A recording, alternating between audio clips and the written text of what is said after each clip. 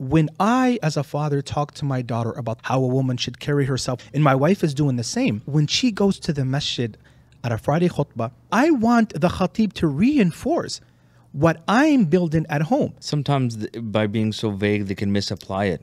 The hadith says, فَهُوَ خَالِدٌ مُخَلَّدٌ فِي النَّارِ that this person will be in a perpetual state in hell. When you say this hadith, you want to create that shock effect. Allow that hadith to do its work.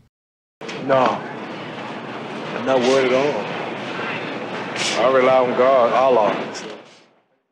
I want to give you an example for my daughter. Okay. I'm teaching my daughter, although she's eight years old, she's not at that age yet. But when I, as a father, talk to my daughter about the proper hijab and the proper how a woman should carry herself with hishma, bashfulness, and to, to be proud of her femininity and to embrace it and so on and so forth, and my wife is doing the same, I want that when she goes to the masjid at a Friday khutbah, that my message at home as a father it's being is being reinforced by the khatib. I don't want my daughter to hear someone telling her, "No one can judge you. You're you have your own rights, and no one should tell you how to." No, I want the khatib to reinforce what I'm building at home. The same thing goes when we when we're talking about these national conventions. I want a public speaker to reinforce what the conditions of the hijab are. That your father loves you and he cares for you. That's why he wants you wearing the proper hijab. That's why he doesn't want you out late at night. I don't want my daughter to go to the khutbah and to literally hear everything being torn down, right?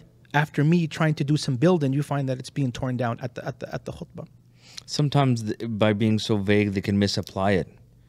And they can reinforce maybe uh, an incorrect idea or incorrect practice, correct? One of the biggest, I think, mafasid that this creates is when I speak explicitly about these matters, okay, and the others, for example, don't.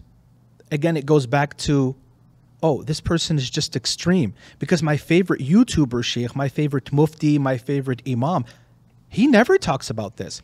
So the perception is, oh, if he doesn't talk about it, that means it's okay, it's not an issue.